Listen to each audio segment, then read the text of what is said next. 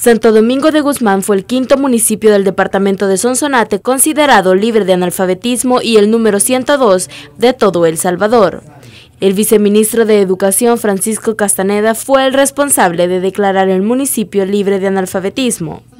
El funcionario llegó hasta el municipio considerado como cuna de la lengua náhuatl para señalar que con los cinco municipios del departamento de Sonsonate que han sido declarados libres de analfabetismo ya se enseñó a escribir y a leer a más de 21 mil personas mayores de 15 años que por diversas circunstancias no habían podido asistir a la escuela formal.